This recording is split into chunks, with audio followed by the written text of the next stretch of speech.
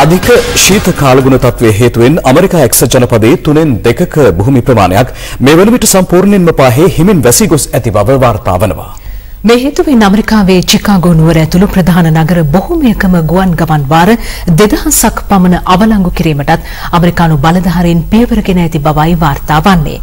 මේ අතර මතභේදයට තුඩු දෙමින් වෙනිසුවෙලාවේ අන්තර්වාර ජනපති ලෙස දිවුරුම් දුන් බව කියන එරට විපක්ෂ නායකවරයාට රටින් පිටවීම තහනම් කර ඇති බවත් විදේශ මාධ්‍ය වාර්තා කළා. මේ සියලු තොරතුරු සමගින් විදේශ පුවත් දැන් උත්තර ධ්‍රවයේ සිට හමායන අධික ශීත වායු ධාරා හේතුවෙන් ඇමරිකා එක්සත් ජනපදයේ තුනෙන් දෙකක භූමි ප්‍රදේශයක් මේ වන විට සම්පූර්ණයෙන්ම පාහේ හිමින් වැසී ගොස් ඇති බව එරට මාධ්‍ය වාර්තා කරනවා.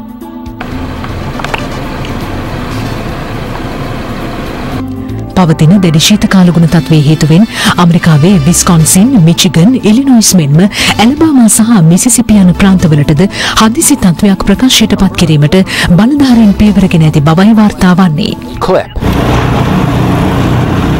ඇමරිකාවේ ප්‍රාන්ත බොහොමයකම උෂ්ණත්වය මේ වන විට ෆැරන්හයිට් අංශක ඍණ 50ද ඉක්ම වූ අගයක් ගෙන තිබීම හේතුවෙන් ජනතාවට තම නිවස් තුළින් පිටතට පැමිණීම දැඩි අවදානම් තත්වයක් විය හැකි බවට කාලගුණ බලධාරීන් මේ වන විට අනතුරු අඟවා තිබෙනවා.